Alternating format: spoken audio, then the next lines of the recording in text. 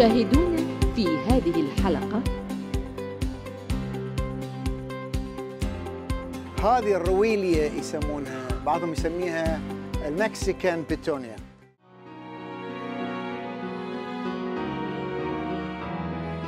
انتشرت فكرة زراعة النباتات العطرية في البحرين لعدة أغراض منها العلاجية ومنها للطبخ. كلنا عندنا أحلام. ولكن أحلامنا مختلفة. ابتديت أجلب الناس لي إن أنا أدربهم زراعة.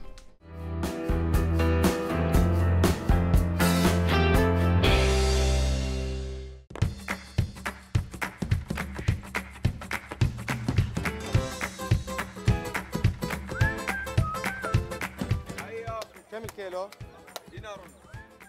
مهرجان التوت. باشكاله وانواعه والوانه والذي يقوم على تنظيمه الزراعة والثروة البحرية والمبادرة الوطنية لتنمية القطاع الزراعي.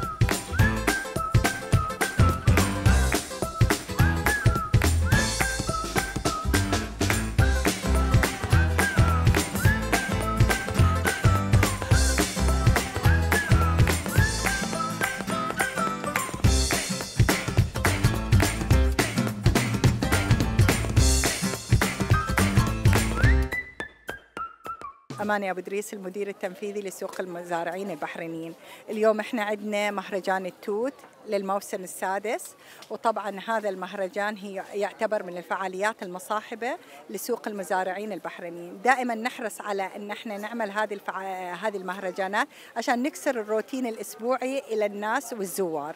آه، مهرجان التوت حقق نجاح آه، في السنوات السابقة بسبب أن الناس قامت تتعرف مو مو بس على التوت بس على أشياء مصاحبة للتوت مثل طريقة تطعيم التوت منتجات من التوت كل أشياء لها علاقة بالتوت. طبعا المشاركين كلهم آه، هم نفسهم المشاركين في آه، قسم الخضار. طبعا عندهم منتجات من التوت شا- مشاركين ويانا. يبلغ عددهم تقريبا آه، 18 مشارك. الكمية المعروض آه، 8 طن إلى 10 طن. تبارك الله يعني أبدع المزارع البحريني هذا الموسم. لقد شهد مهرجان التوت إقبالا كبيرا من المواطنين والمقيمين الذين تهافتوا منذ ساعات الصباح الأولى بالحضور إلى سوق المزارعين بالبديع.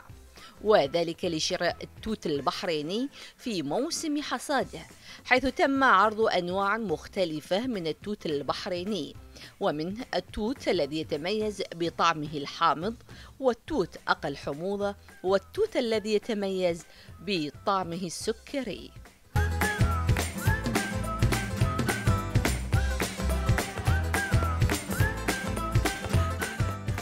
توت ما شاء الله وين حلو والاقبال شو كثر اقبال عليه. إنه موسمه الحين. وما شاء الله يعني وايد زين. وهني ما شاء الله يعني هذا المزارعين بكل شيء يسووا زين. حق الطماط بعد يسووا لنا حق كل شيء زين. من من من كم سنه إحنا نياي ما نمل كلها بنياي. إنه ما شاء الله وايد يعني آه، حلو. مكان حلو وكل شيء زين. وهذه ما شاء الله التوت الجميل يسوون عصير يسوون بكل شيء وايد حلو. وايد وايد حلو.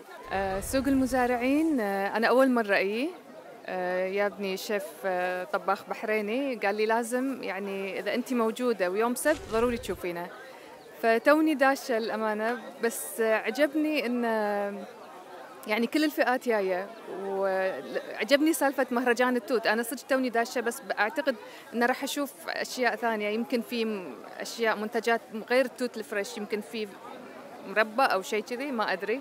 بدش بكتشف. بس الأجواء حلوة الحديقة كبيرة. آه، مو بس مكان ال- البيع أبي أكتشف أبي أتمشى داخل هناك أبي أشوف شنو فيه. فأعتقد إني راح أستمتع إن شاء الله. زين والله أول مرة أجي هني مهرجان التوت وأشوف ما شاء الله وايد وايد ناس جايين. وأسعار التوت بعد ممتازة يعني كيلو دينار ونص صاير و-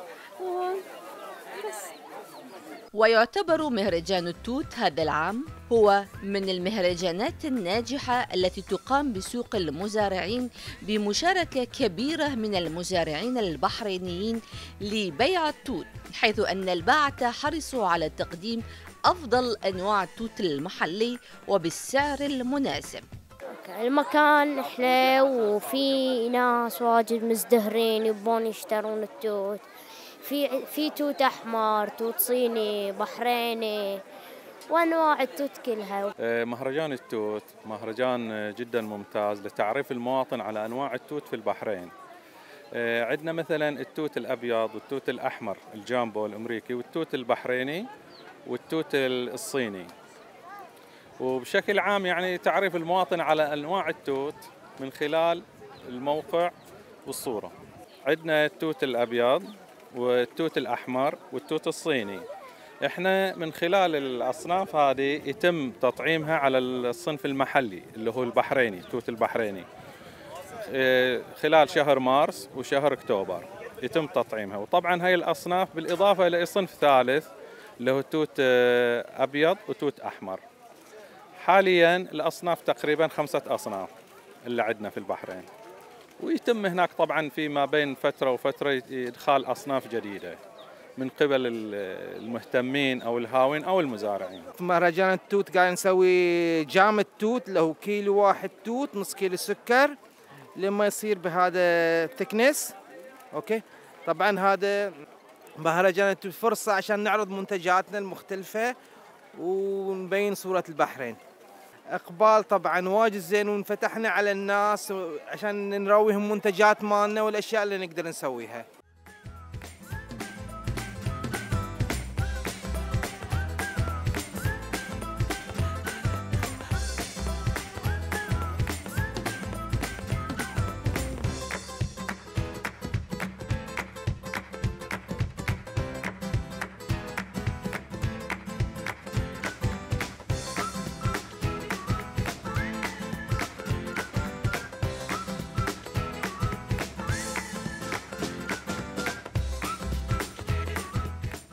من اشترى. وكل التوت البحريني نقول لهم عليكم بالعافية. أهدافنا التعرف على المراكز والجهات المختصة في الزراعة في مملكة البحرين.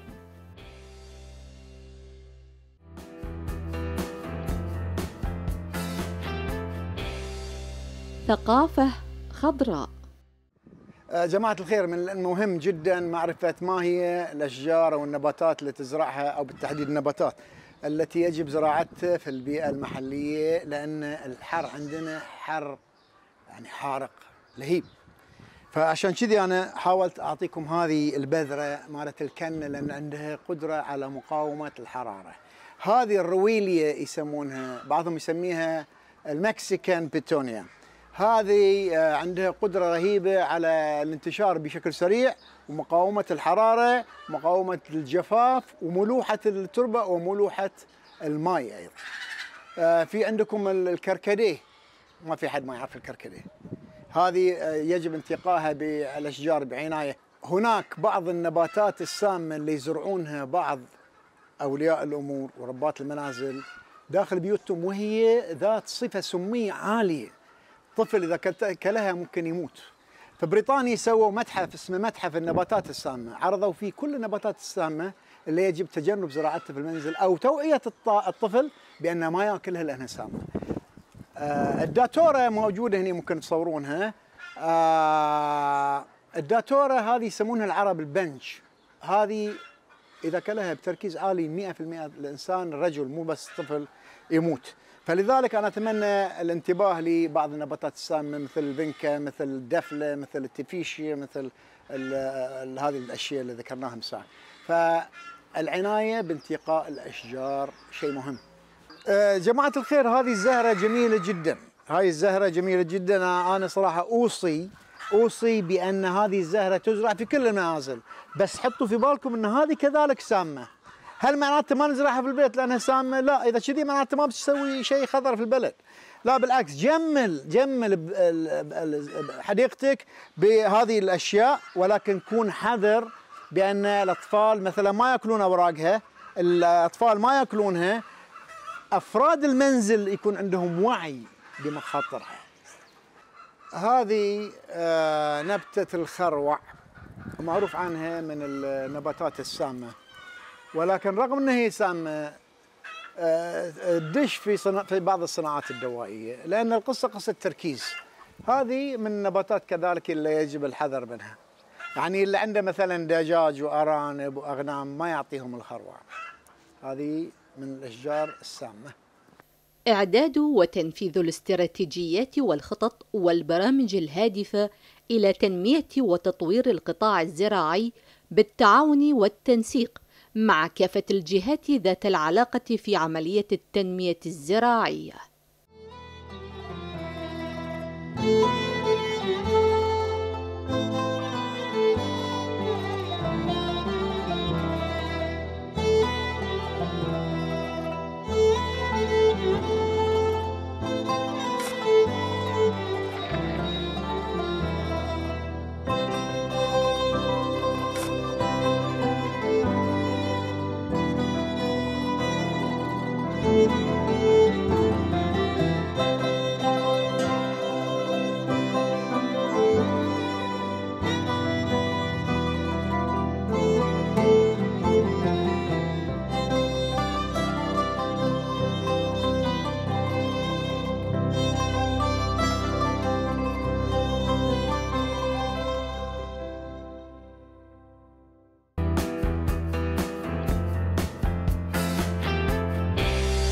قصة نجاح.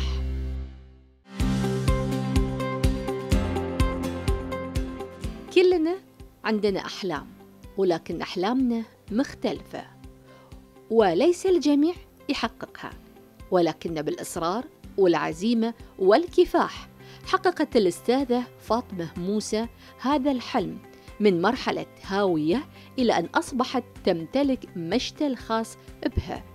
واللي من خلال هذا المشتل تزرع وتورد منه وتعطي دروس زراعية. ومو كذي وبس بل إن هي أصبحت السيدة فاطمة موسى تورد البيوت الخضراء وكل ما تحتاجه المزارع والمحميات للمزارعين ومحبين الزراعة. فعلا قصة نجاح. اسمي فاطمة موسى علي صاحبة مشتل كركدي. بديت بالزراعة وأنا طفلة صغيرة يمكن بنت ابتدائي يعني ست سبع سنوات بديت بالزراعة. كنت أزرع راس الرويد لما أمي تقطع من الخضرة ويطلع. كان الحوش متروس دياي وغنم كنت أستخدم الأسمدة هذه والرمل في البيوت الحيشان الأول كلها رمل. فمن هنا صار عندي شغف للزراعة. لما رحت المدرسة في صف ثالث ورابع ابتدائي علمونا الزراعة زراعة البصل في ماي زراعة الآلو في ماي زراعة الباجلة النخي فصحون على قطن وكل ما أشوف النبتة تنبت كل ما أتعلق فيها أكثر. فمن هاي الناحية أنا يعني نمت عندي هاي الهواية لما أنا صرت الحين لهاي الشيء.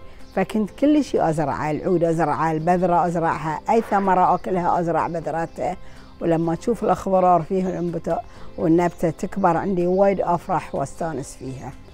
ومن هاي الناحية أنا نميت وصرت صاحبة مشتل. آه وبدافع بعد من صاحبة السمو والشيخة سبيكة قرينة الملك حفظهم الله. هم هي اللي دفعتنا إن إحنا يعني نشجع على الزراعة وننشر الزراعة. وأنا ودي في كل بيت تكون في البلكونة في الدريشة إن شاء الله عصيص يتعلق على الطوفة وينحط في زرعة. يكون الخضرة منقية صحية. يعني الأخضرار في الديرة يصير وايد حلو. الجو يبرد بعد. الجو يبرد الأخضرار آه، صحة نفسية. لما الواحد تعبان نفسيا أو متضاير من شيء يروح يقعد عند الخضرة نفسيته تنفتح يرتاح نفسيا. حتى لو يحس بألم أو بأي شيء يقعد مع الخضرة مع الزرع يطير عنه هاي الأشياء. أنا كنت أزرع في البداية وأوزع النباتات مجانية. فلكل معارفي وأهلي وأصدقائي فكنت أوزع بالذات الكركدي من أول ما طلع عندي ولأنه كثير صار. فأنا كنت أوزع منه لأن أقول وين أحطه؟ وين هاي؟ ما كنت أفكر أن أنا أسوي مشتل وأبيع. فحتى لما أروح حق أحد هدية أودي له نبتة آه، لما كنت أعقل الياسمين الروز تعقيلات هذه بعد أوديها هدايا نبتات لأن أقول أحلى من الحلاوة وأحلى من الزهور اللي بتذبل وبتطيح النبتة بتعيش وتكبر في البيت. فناس قالوا لي قالوا لي ليش انت كلها تزرعين وتهدين وتوزعين كميات؟ ليش ما تفكرين أن أنت تحطين يعني تسوينها ماشتل بسعر رمزي؟ وصح فعلا بديت بأسعار رمزية والحمد لله ولا زلت على نفس الأسعار وماشي يعني حالي الحمد لله. مشتلي نعم كان صغير وكنت في البيت أسوي الأشياء. طبعا طبعا كان بيتي قبل أصغر من كذي في مدينة عيسى. وبعدين توسعت لما جيت هني استغليت الاستراحة مالتي كمشتل وبديت فيها ركبت ال greenhouse فابتديت أجلب الناس لي إن أنا أدربهم زراعة. فالناس لما يجوا ياخذون تدريب course آه، مجاني قاموا يشترون من عندي ومن كذي بعد أنا كبرت أكثر وأكثر. وأي أسئلة أي استفسارات أي شيء أرد عليهم ما أبخل عليهم باي معلومة أعلمهم إياها.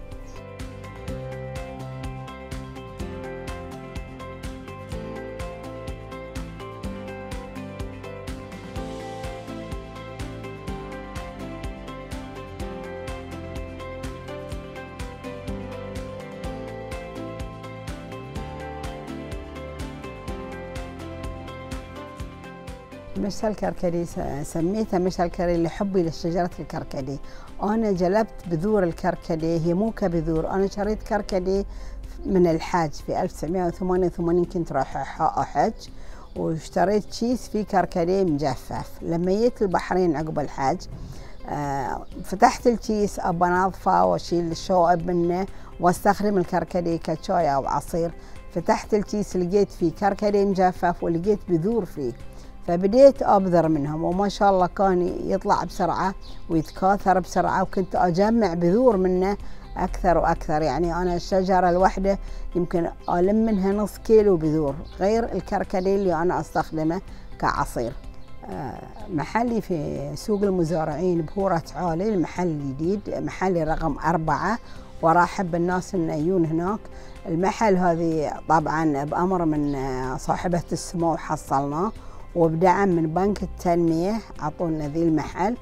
آه ف يعني أنا هناك الصبح أداوم من ثمان لثلاث ومن ثلاث للخمس طبعا بين صلاة وغدا وراحة. ومن بعدها أرد أواصل شغلي في المشتل هني. طبعا على العصر المغربيات كذي في الليل شوي. بين تبذير وبين تعقيل ويعني نشاطي ما تهاونت عنه. وبعدين من الصب قبل ما أروح السوق بعد عندي فترة أن أنا أشتغل. من خمس ونص لسبع ونص بعد في البيت في المشتل نفسه بعد أشتغل.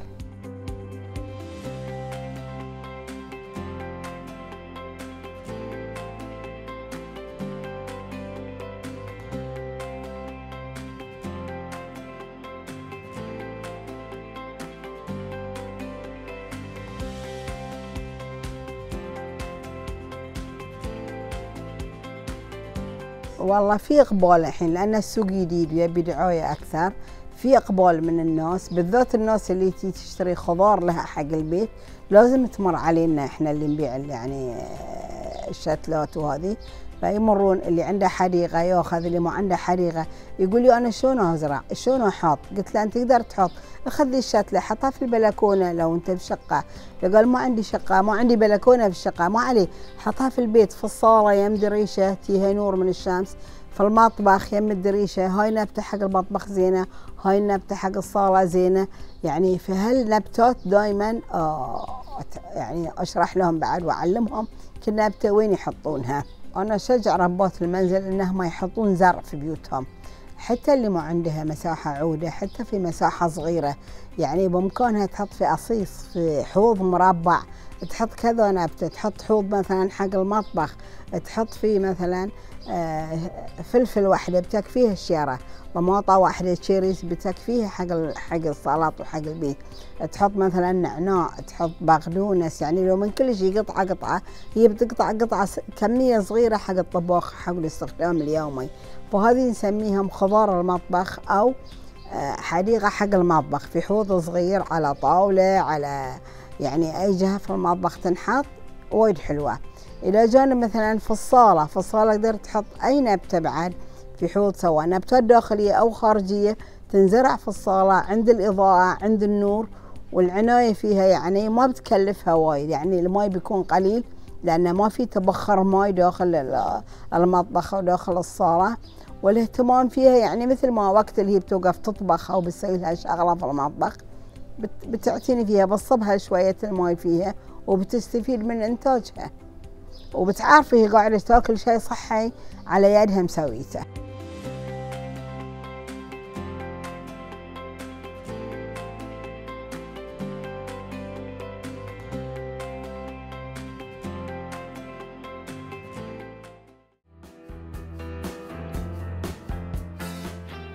الجمهور شنو يقول؟ ما هو النبق؟ هل الكنار أو الليمون؟ النبق هو الكنار سدر. النبق ما أدري أعتقد كان سمعتها كان الكنار. إيه كان كان الكنار. إيه كنار كنار. أه والله ما أدري صراحة بس شكله كنار. النبق هو الكنار باللهجة البحرينية المحلية. أهدافنا. تثقيف وتوعية ربات البيوت في المجال الزراعي وتشجيعهم على الزراعة المنزلية.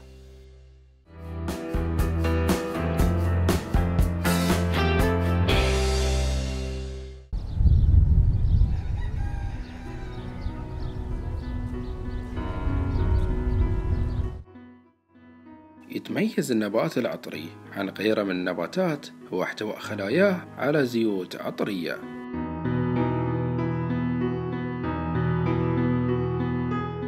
طبعا النباتات العطرية من تسميتها هي عبارة عن نباتات فيها زيوت عطرية.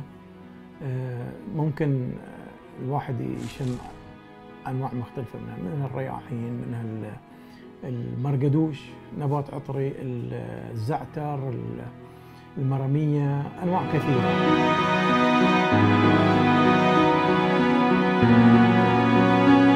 هذه النباتات معظمها آه، تستقبل حرارة جو البحرين ورطوبته وبعضها لا مثل كليل الجبل.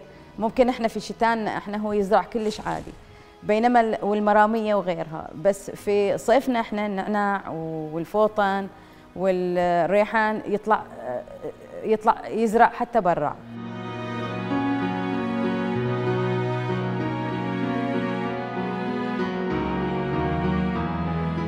انتشرت فكرة زراعة النباتات العطرية في البحرين لعدة أغراض منها العلاجية ومنها للطبخ.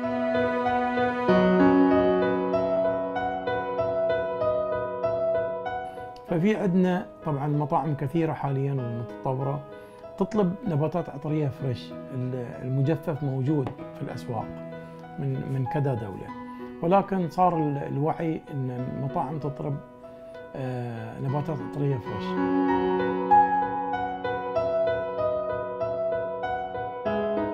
يتم تجفيف النباتات العطرية بكل سهولة في المنازل بعدة طرق على حسب ما تفضله ربة المنزل.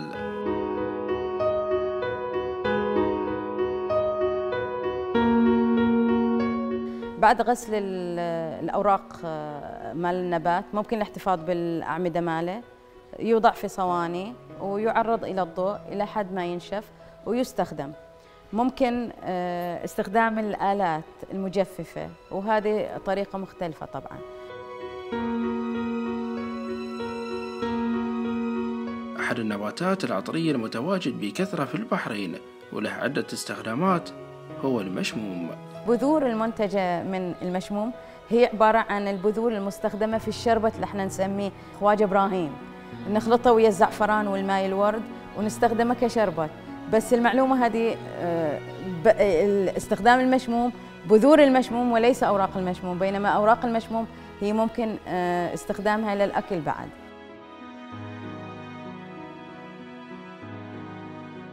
الفوطن آه، يزرع بكثرة في البحرين وبسهولة يزرع وكاثر بسرعة. وممكن آه، استخدامه كفريش وممكن استخدامه كمجفف. المرامية هي أحد آه، العطور النباتات العطرية استخداماتها كثيرة. تستخدم إلى في السلطات تستخدم في في المتبلات مالت الدجاج والأسماك لنزع الروائح اللي تنتجها النباتات الدجاج والأسماك.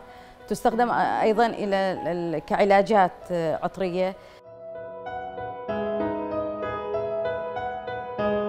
تم تهجين النباتات العطرية وإنتاج أنواع مختلفة منها مثل الريحان.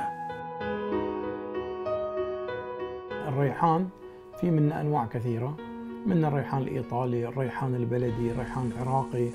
الريحان الإيطالي التايلندي الريحان بريحة الليمون الريحان.